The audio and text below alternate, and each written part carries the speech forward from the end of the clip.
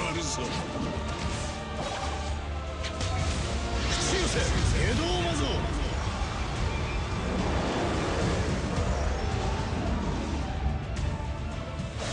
行くぞ โอเคครับคุณผู้ชมมากันที่คลิปที่ 2 เรามาต่อกันที่ผมทู่ ฉันจะรีเซ็ตโลกนินจานี้เอง โอบิโตะครับ โคตรเท่นะฮะโคตรก๊อตเลยนะฮะใครก็เอาเขาไม่ลงครับสิบผางโอ้ทู่เดี๋ยวมาดูทางนินจาครั้งที่4นี่ครับที่เป็นหน้ากากเขียวขาวนะครับย่ารู้สึกว่าเหมือนจะมีหน้าให้เปลี่ยนนะ เดี๋ยวต้องลองดูนี่ครับนารูโตะพ่อทัชโคตรหอมเลยอะหอมอะไรอะ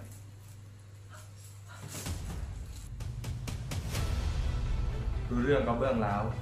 แล้วก็มีนี่เป็นสัญลักษณ์ของคือว่าเขาที่หน้ากากแตกนะฮะจะมีสองเนตร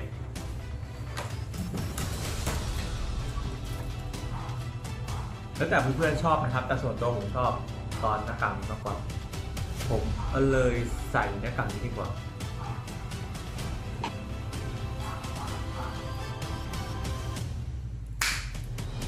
ไป